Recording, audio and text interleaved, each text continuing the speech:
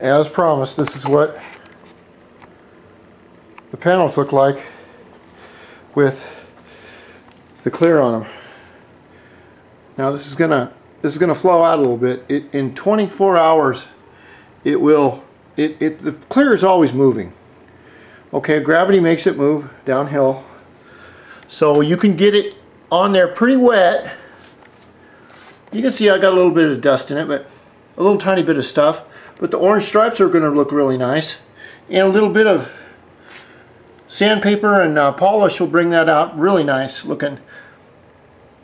And of course that will dry in 24 hours with the hardener in it.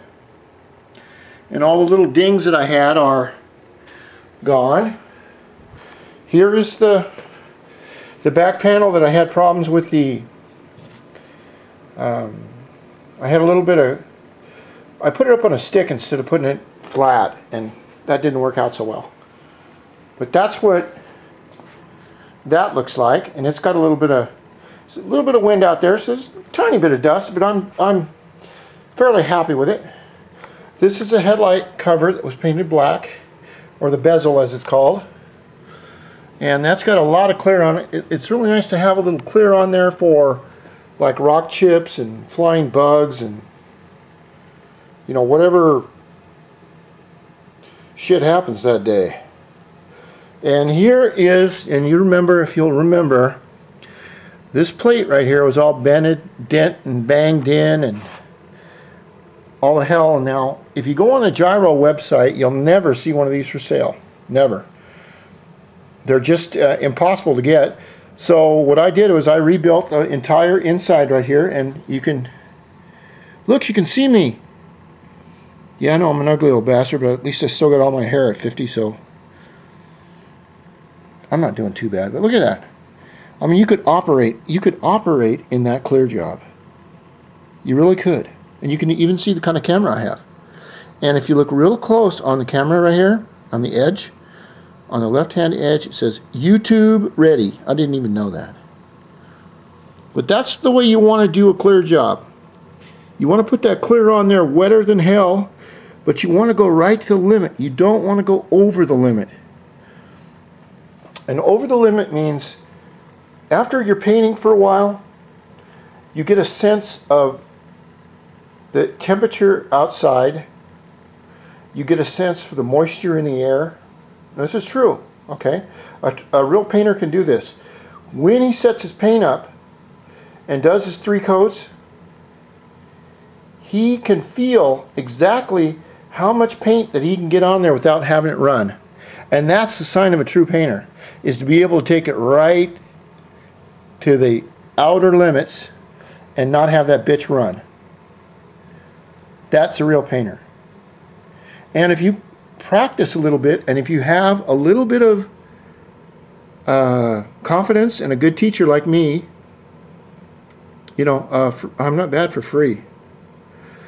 But I believe you can do it if you just like I teach my kids, practice, practice, practice. Get a hold of these parts. Get a hold of a cheap ass spray gun from. You don't need a $400 DeVilbiss. A lot of these um, very expensive guns, let me, let me tell you a little secret about them. They're called production guns. That means that they're used every day. They are hardworking,